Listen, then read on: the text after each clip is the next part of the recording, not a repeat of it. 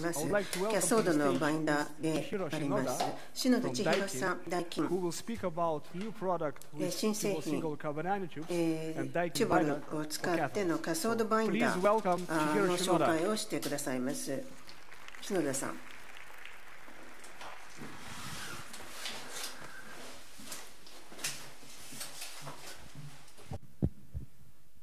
はい、えー、ただいまご紹介に預かりました大金工業株式会社の篠田と申します。Daikin, my name is Shinoda. It's a wonderful opportunity for me. I'm, I'm very proud and grateful. 今回ですね、ちょっと日本語でプレゼンさせていただきますので、皆さん、えっと、通訳の機会の方、お願いします。The interpretation. はい、えっ、ー、とまずダイキン工業の化学事業部に、えー、とご説明をさせていただこうと思っていたんですけれども、ちょっと時間をしているということなので、午後のポリマンセッションで、弊社テラダの方から説明させていただきたいと思います。So I'd like to omit the explanation about the company here. 弊社ダイキン工業はですね、フッ素化学を取り扱っておりまして、これは、えっと、リチウムイオン電池にも、えっと、使われております。例えば、ガスケットであったりとか、今回説明させていただきます、正極用のバインダーであったり、でまた電解液の添加剤っていったところに用いられております。はい、では早速ですが、本題に移らせていただきます。ですね昨年のナウムの方でもコンセプトについてはご紹介させていただいたんですけれども今回はあの具体的なデータが出ましたのでそちらについて、えっと、簡単にご紹介させていただきたいと思います。はい、えーと、私たちはあのオクシアル様と一緒にですね、チューボールとダイキンのニューバインダーをと含む正極用の NMP 分散液というものを開発しております。And this is a binder for the cathode. に、えっと、含まれるのは酸性失礼いたしました。 3成分になります。えっと、チューボールとダイキンのニューバインダー、そして NMP の3成分です。These three materials. バインダーの特徴といたしましては、電極の高密度化を図れること、increased capacity, higher electrode density, flexibility, and stability ところが付与できることを特徴としております。slurry stability. And those are characteristics. And the tube ball is used, so high adhesion is acquired and high conductivity you can get. So by utilizing those characteristics, 97対1.5対1.5といったような正極素数が一般的だったんですけれども1.5 to 1.5 is a conventional uh, formulation, but the two balls activities バインダーの量を減らすことができますので発現室の量を増やすことが可能となりました。Uh, other materials, so the active materials uh, component becomes to be higher. So 98.5 5 2% uh, you can use uh, the active materials. So two ball uh, amount is 0.08. But uh, based on our study, uh, this seems to be the optimal contents of the two ball. このセム画像はですね、And, uh, 潰すと same image on the right hand side, binder and two ball, and there is a, a bindings, bridgings taken place. 具体的に最近のニューバインダーの特徴である characteristics of the, uh, the Daikin binder, stability and flexibility. えっとリチウムイオン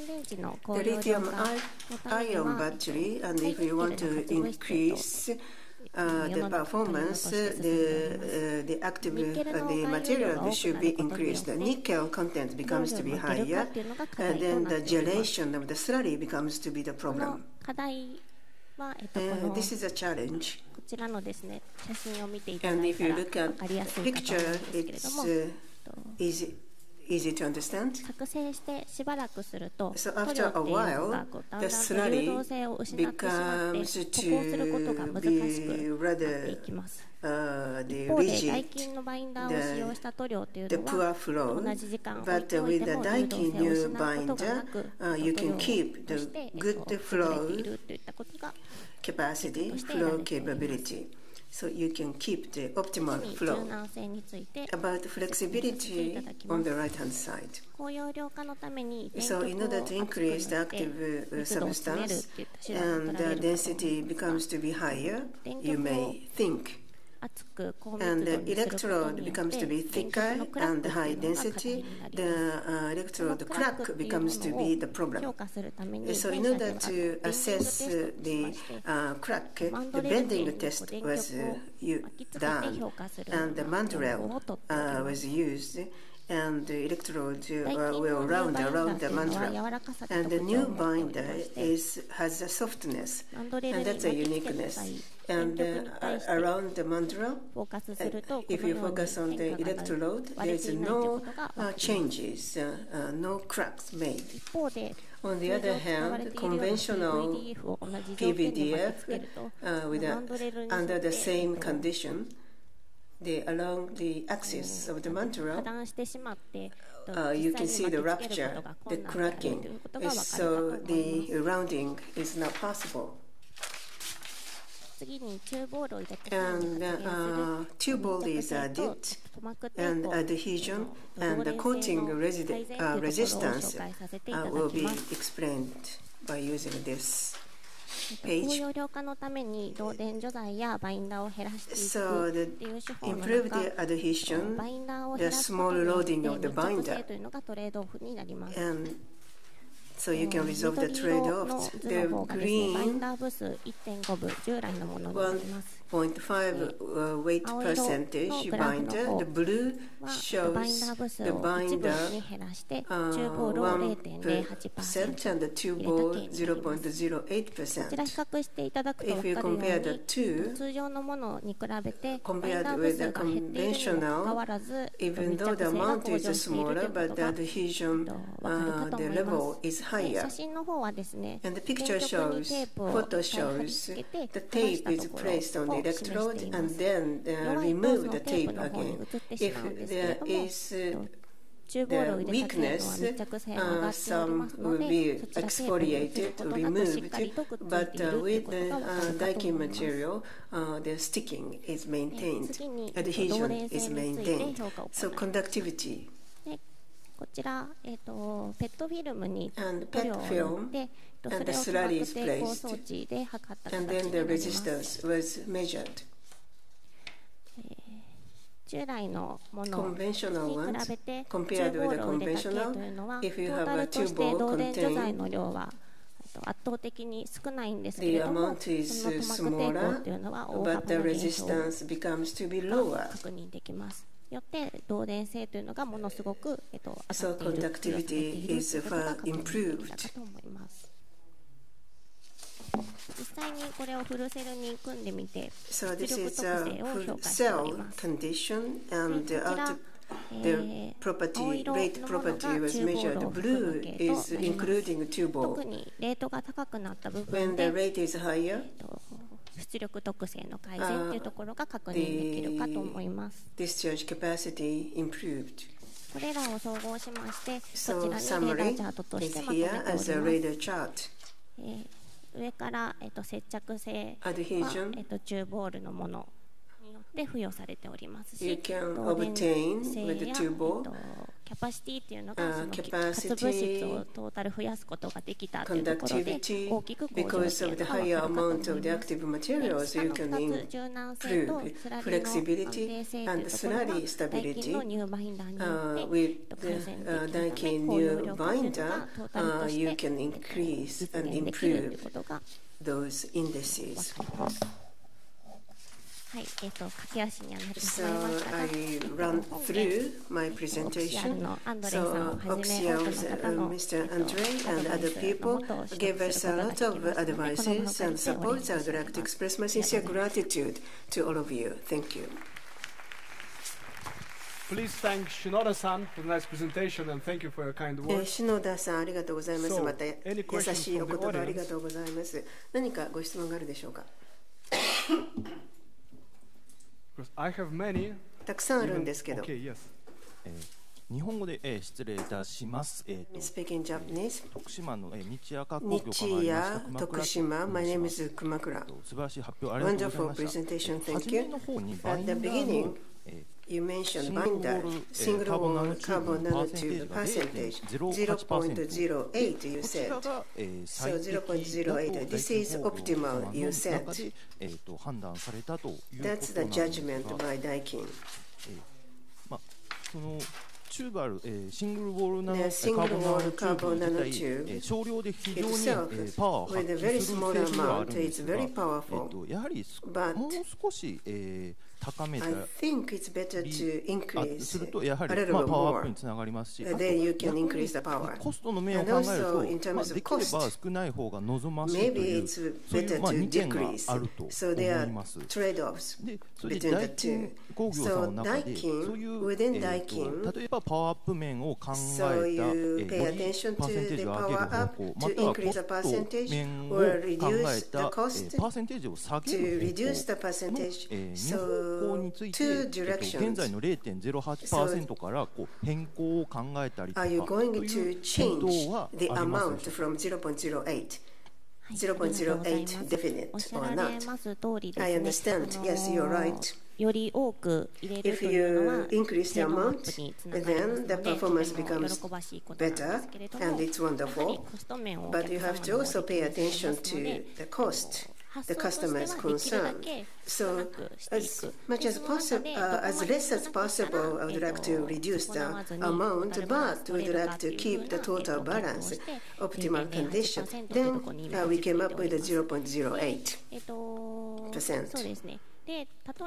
For example, 0.04%, then the adhesion level uh, is lacking 反対に Adhesion is not satisfactory. Or if you increase it up to the 0.12%っていうふうに増やした際1の point 出力への影響っていうところ excuse me は0.12, そこまでインパクトを感じて then お the りませんの impact で is not so much 少なく in terms of して output. どこまで大丈夫かっていう So 観点に今 we try to 0.08% find で out 進めさせていた uh, だき the たいなという best ふうに uh, the level to keep the output, and that is 0.08. Yes, I would like to 加えて.まあ、これはまだスターティングだと思います。今のところでの、オプティマルです、えーさらに下げていけないかということを今研究しているところであります。私のおプレゼンでもお話をできればと思っています。Further, the concentration of えー CO2 さらに濃度を下げることができないかということを検討中です。More question にありますか？篠田さんだけじゃなくて、オーディエンス,の皆さんに聞きたいんですが、ジョイシュ・リンさん、AK、ジェレーションの問題はどうでしょうか？How この問題はどれほど深刻なんでしょうか？バッテリーのカスタマーはどれぐらい、uh, この。クレイキーの問題を経験していらっしゃるでしょうか？えジェル、ジェレーションの問題、粘土の問題。